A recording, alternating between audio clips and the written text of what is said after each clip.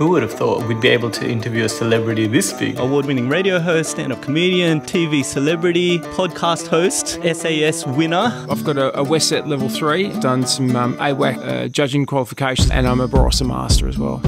Of course, I had to stuff it up by saying dumb stuff like this. Was it, how was that? What, what are we, 2024? 13, 14 years. Yeah. 24, 24 years.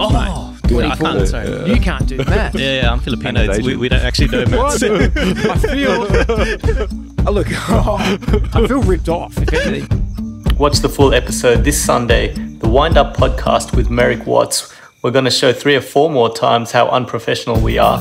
Put it in the comments below when you watch the episode if you pick out what those three or four times are.